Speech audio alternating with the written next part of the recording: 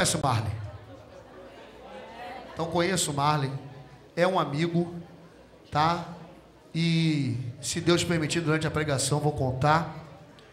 Deus usou ele. Deus tocou nele. Eu estava 17 dias internado, esquecido, e eu não liguei para ninguém.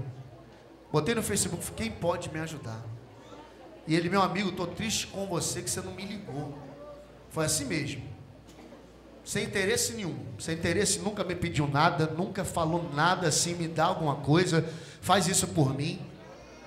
E na mesma hora ele ligou, fez as ligações em três dias, por causa da burocracia, que se não fosse isso, seria antes. Eu estava internado numa clínica particular, na Tijuca, e fiz a cirurgia porque eu estava entre a vida e a morte, com dois infartos no peito. E hoje eu tenho dois stents na artéria e tô melhor do que antes. Tô que nem criança, varão. Tô pisando na cabeça da serpente com os dois pés sem bambear e sem dobrar o joelho. Alaba, cantu, relé.